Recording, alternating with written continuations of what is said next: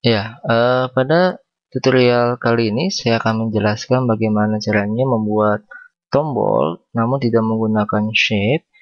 Kita akan coba membuat tombol dengan menggunakan uh, objek gambar yaitu kita klik file, kemudian kita pilih new, kemudian kita pilih script 2, kemudian kita klik OK.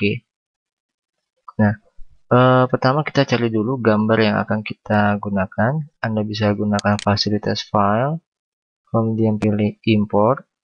Anda bisa pilih import to stage atau import to library. Uh, saya coba langsung aja import to stage. Saya ambil gambar pertama. Itu untuk membuat tombol.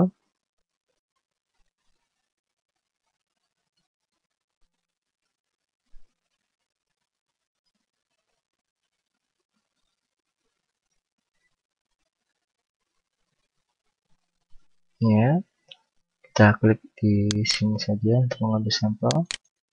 Ya pertama saya akan gunakan tombol ya koala. Saya klik open maka akan masuk gambar koala. Kemudian anda ubah ukurannya sesuai dengan kebutuhan anda. Jika anda menggunakan koneksi e, memiliki koneksi internet anda bisa cari di Google. Kemudian anda tinggal cukup klik kanan pada Google. E, kemudian anda langsung bisa paste di sini. Seperti itu. Nah seperti ini tombol yang kita miliki Kemudian Anda lakukan hal yang sama pada tutorial sebelumnya yaitu Anda klik modify, kemudian pilih convert to symbol atau cukup menekan tombol F8 pada keyboard.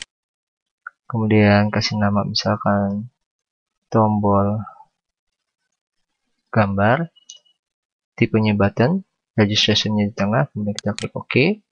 Nah, kita sudah berhasil membuat sebuah tombol. Kemudian kita double klik untuk mengedit uh, kondisi over uh, dan hitnya coba klik.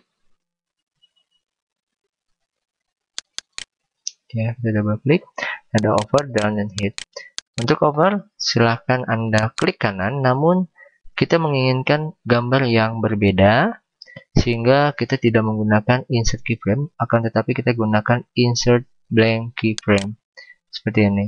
Kemudian kita klik file kemudian kita pilih import to stage. Kita pilih gambar yang kedua misalnya gambar uh, bunga seperti ini. Ya kemudian kita ubah ukurannya kita klik kanan pilih free transform kita resize. Ya kita atur posisinya agar titik tengahnya uh, berada pada titik fokus seperti ini nanti up-nya koala, over-nya berubah menjadi bunga, dan down-nya kita akan buat insert blank keyframe.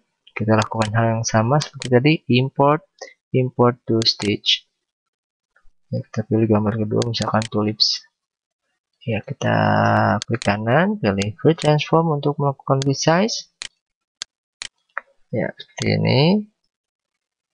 Oke, kita atur posisinya sehingga berada di tengah-tengah. Ya, cukup kalau misalkan anda mau ubah uh, menjadi miring bisa seperti ini anda lakukan.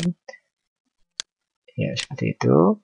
Kemudian kalau jika sudah selesai anda cukup mengklik scene 1 kemudian kita akan coba klik uh, untuk menjalankan animasinya kita tes.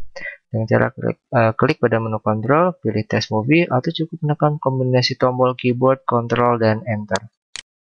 Seperti ini. Ini dia Ya, ketika saya arahkan dia berubah menjadi bunga dan ketika saya klik maka dia akan berubah menjadi bunga tulips. Ya, seperti ini. Oke.